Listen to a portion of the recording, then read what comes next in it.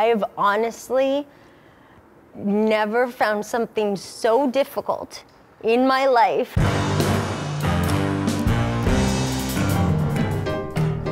When you haven't any cold When you haven't any freeze coal in in the the winter and and you you curse in the the winter and you curse. When we went to the first like rehearsal with them, they showed us the dance we were gonna do, and it looked It looked easy. easy. Yeah. Easy. Yeah. Then we started to do it. It got har- it got harder, harder. Harder, harder and and to harder. the point where they'd take me by the hand and just practice walking, like in a in a coordinated fashion. I was so happy though that you Well- had that level of lack of confidence because that was exactly where I was Yeah. coming into it with. I was like, oh man, I hope Emily sucks as bad as I do. Yeah. And you know, we were on the, we were we we we learned together. Oh, you yeah. know, very if you slowly. haven't any, I'm never gonna. it's ingrained now, yeah. Well, give your instructor some points because the very first time we saw a cut of that scene, it was, whoa! It was mind-boggling how great it was.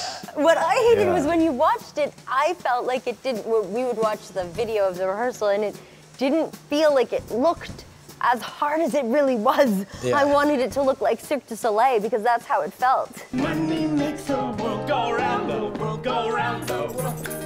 Money makes the world go round, the clinking, clanking sound of money, money, money, money, There were some major moves. You had a thing, you, there were lifts. We had a lift. And Yeah. you had Cartwheel. a full body twirl Yeah. Yeah. thing right over Yeah. at the end. And then you wake up the next morning with feeling things you didn't even know you had those muscles and body parts in you to feel. Yeah. Remember when Dan sent us for IVs?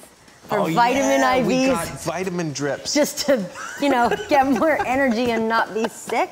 Yeah, we were like athletes. we were like athletes, like Olympians. Olympians.